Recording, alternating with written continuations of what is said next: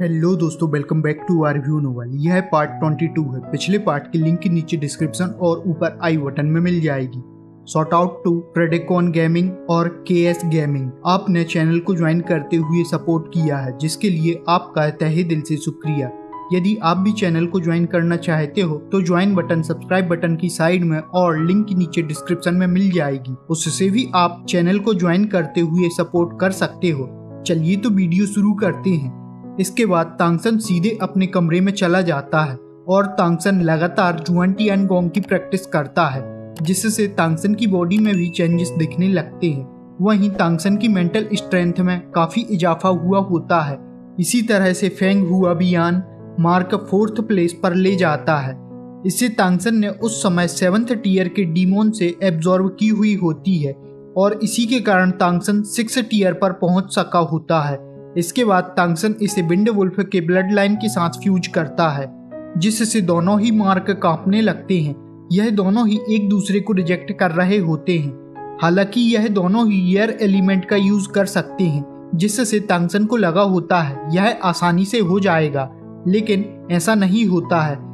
लेकिन तांगसन ने भी उन्हें नहीं रोका होता है, जिससे वह फ्यूज होने लगते हैं। लेकिन इससे वह काफ़ी ज़्यादा हलचल भी करते हैं।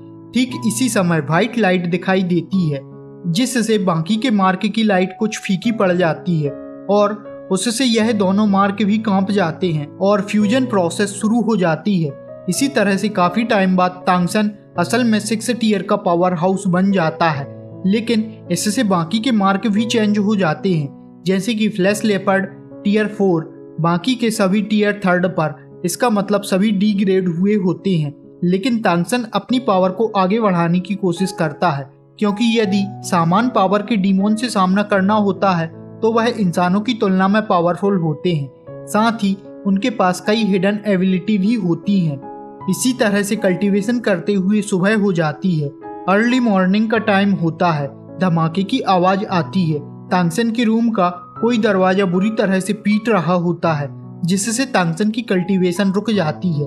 तांगसन ने आँखें खोलते हुए देखा होता है और कहता है, कौन? इतने में आवाज़ आती है। तांगसन यह मैं हूँ। तुम्हें गुड न्यूज़ देने आया हूँ। यह रीडिंग बाई की आवाज़ होती है। आखिरकार रीडिंग बाई को अब होश आया होता है। रीडिंग बाई काफ़ी ज़्यादा जल्दी में तांगसन से मिलने के लिए एक्साइटेड होता है, क्योंकि रीडिंग बाई की जो थर्ड टीयर की पावर कई सालों से होती है, अब वह ब्रेक होते हुए फोर्थ टीयर की पावर में एंटर कर गई होती है। इस पर तांगसन इसे मास्टर को बताने के लिए कहता है, क्योंकि रीडिंग बाई अब और भी ज़्यादा खतरनाक हो जाएगा। इसी के साथ कुछ ही समय में तांगसन कैफेटेरिया में चला जाता है। तांगसन धीरे धीरे चल रहा होता है, क्योंकि गुआन तांगसन को डांटने वाला होता है। तभी गुआन तांगसन को देखते हुए कुछ कहने वाला होता है, तभी तांगसन ही कहने लगता है, मास्टर, आपके लिए एक गुड न्यूज़ है। इतना सुनने पर गुआन सब कुछ भूल जाता है कि वह तांगसन को डांटने वाला था। तांगसन फिर रीडिंग बाई की बात बताता है, जिससे गुआन भी तांगसन से उसे सीक्रेट रखने के लिए कहता है। ऐसा इसलिए क्योंकि रीडिंग बाई की एबिलिटी पावरफुल होने के साथ बैड लक लेकर भी आएगी, जब तक रीडिंग बाई इसे कंट्रोल नहीं करता है, और रीडिंग बाई उसे इतने जल्दी कंट्रोल करना नहीं सीख सकता है। यहाँ पर हमें तांगसन से एक बात का और पता चलता है, जब तांगसन के पास रीडिंग बाई आया था तो वह तांगसन के गले लग जाता है जिससे तांगसन को पता चल जाता है। तांगसन रीडिंग वाई से पावर को एब्जॉर्ब ना भी करे, तब भी उसकी स्काई फॉक्स की ब्लड लाइन लगातार इवॉल्व होती रहेगी। और ऐसा तब तक होता रहेगा जब तक तांगसन रीडिंग वाई के साथ होता है। तांगसन ने रीडिंग वाई को पर्पल आई टेक्निक भी बता दी होती है, जिससे अब रीडिंग वाई भी पर्पल आई की कल्टीवेशन को कर सकता है। इसके बाद रात होने पर सभी एक साथ बैठते हैं। वैसे तो सभी मास्टर ने तांगसन को यहाँ पर डांटने का इरादा रखा हुआ होता है, लेकिन ऐसा न करते हुए सभी स्टूडेंट को अपनी अपनी कहानी सुनाने लगते हैं।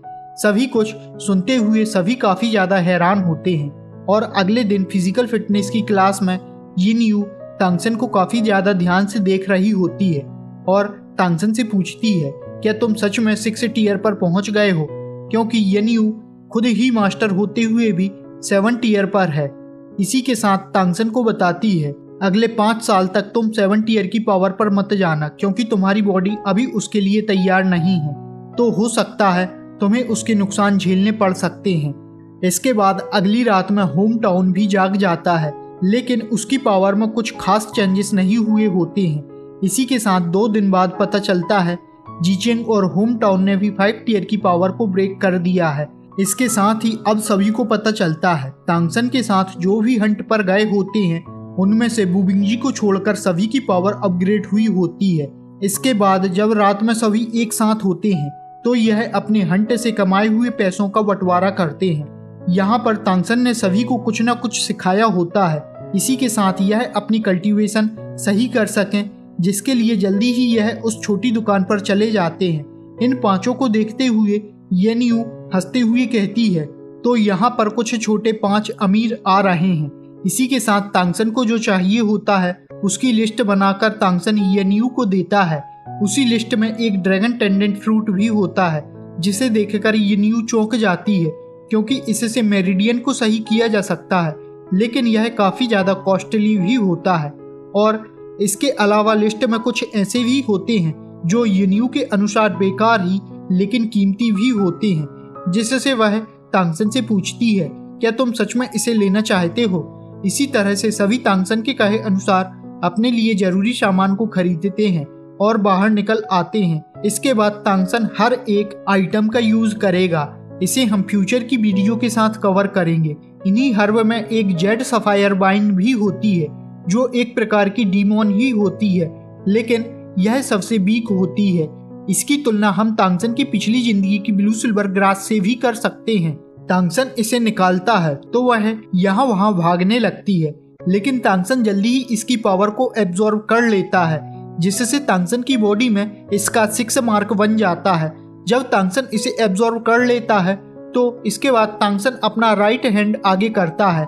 इसी के साथ हाथ से अचानक ब्लू लाइट निकलती हुई दिखाई देती है और एक छोटा सा ग्रुप बन जाता है। यह ग्रीन जेड वाइन हाथ से निकलते हुए दिखाई देती है। तांगसन की यह पहली ऐसी ब्लड लाइन मार्क होती है, जो कि प्लांट से आया हुआ होता है।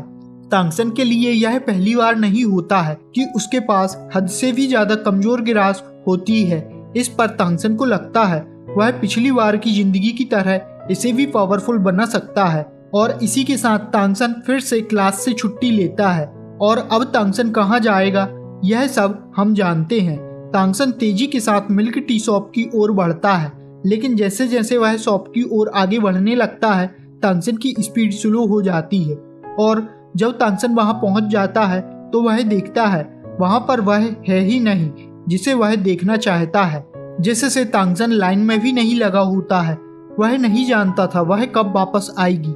लेकिन समस्या इस बात की होती है कि वह इस बारे में किसी से पूछ भी नहीं सकता है। अब तक रात होने वाली होती है। जिससे वह लाइन में लग ही जाता है। तभी मेई गोंगजी की जगह सुईकिन आती हुई तांगसन से पूछती है, तुम्हें क्या चाहिए? इस पर तांगसन पूरे 14 कप मिल्क माँगता है, जिससे उसे बात करने के लिए कुछ टाइम मिल सके। इसके साथ ही तांगसन बातों ही बातों में मेई गोंगजी के बारे में पूछने लगता है, लेकिन तांगसन को ज़्यादा जानकारी नहीं मिल पाती है, और जो भी मिली होती है, वह यह होती है कि वह स्कूल गई है। इस पर तांगसन के मन में कई सवाल होते हैं, जैसे कि क्या वह भी एक जागीरदार है, क्या वह कैरी कॉलेज गई है, लेकिन तांगसन उन्हें पूछ नहीं सकता है। एकेडमी वापस आकर तांगसन सभी को वह मिल्क देता है, जिसे लेकर सभी खुश होते हैं। इसके बाद तांगसन मेयर से कुछ हेल्प मांगने के लिए कहता है, अब मेयर मना करने से तो रहा। तब तांगसन मेयर से एक वेपन बनाने के लिए कहता है। मेयर के पूछने पर तांगसन उसे हैमर बनाने के लिए कहता है इस पर मेयर भी रेडी होता है और अगले दिन की दोपहर का टाइम देता है। लेकिन यह इतना आसान भी नहीं है, क्योंकि मेयर कोई ब्लैक समिथ नहीं है। इसी के साथ मेयर तानसन को रेडिम्सन ऑर्गेनाइजेशन के ऑरेंज लेवल पर अपग्रेड करने के लिए रिक्वेस्ट देने की बात भी बताता है। फिर मेयर तांगसन को जाने के लिए कहता है। इसके साथ ही मेयर मिल्क कप को हाथ में रखते हुए तानसन के ओरिजिन के बारे में सोचता है। कि तांगसन को आखिर इतनी जानकारी कहाँ से पता होती है? लेकिन अब हम तो जानते हैं मेयर को सिर्फ़ कितना पता हो सकता है।